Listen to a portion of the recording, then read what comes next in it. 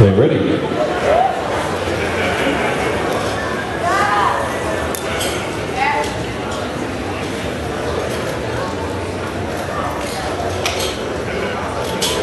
Christopher Chia.